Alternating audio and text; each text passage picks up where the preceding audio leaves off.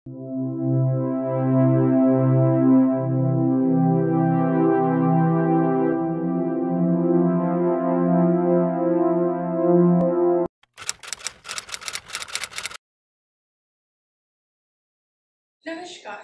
Welcome to the new episode of Vande Mataram, the story of India's brave hearts.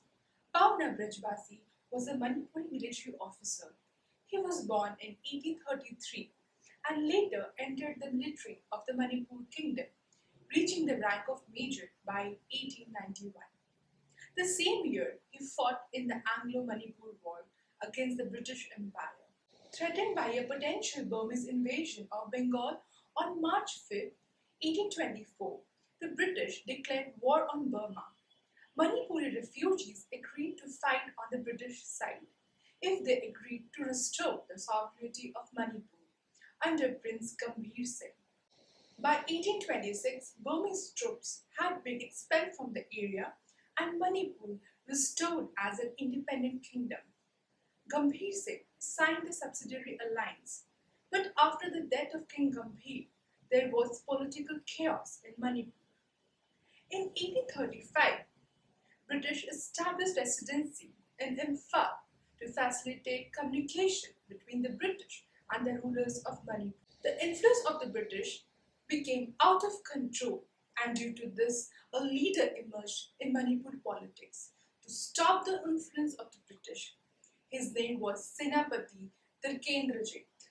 The British looked towards Tikendrajit as a threat to their plan and they took every step to stop him. With the death of Maharaj Chandrakirti in 1886, there was a struggle for the throne of Manipur. Maharaja Surchandra then ascended the throne, but he was weak and ineffective ruler who had sided with the British. Due to this, Crown Prince Kulachandra and Senapati, that is Tikendrajit, revolted against King Surchandra. Due to this, Maharaja Surchandra appealed to the British Viceroy Lord Lansdowne for help. In return, Lord Lansdowne sent J.W. Quinton, the Chief Commissioner of Assam, with 400 soldiers under Colonel Skene to capture the Tikendrajit. Quinton arrived in Manipur in 1891 with 400 Gurkha soldiers. Their main aim was to capture the Senapati and declare Kulachandra as the king of Manipur. The British organized a darbar in which King Kulachandra came but the Tikendrajit did. Due to this, the British declared war against the Manipur kingdom. On 22nd March 1891, the British attacked Kangla, but this plan of the British backfired and five commanders were killed along with J.W. Quinton. However, heavy casualties were inflicted on the Manipuri soldiers were fighting with traditional weapons.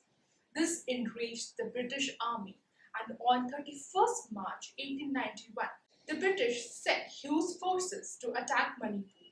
These forces were under the command of Major General H. Collett, Colonel R.H.F. Rennick, and Brigadier General T. Graham.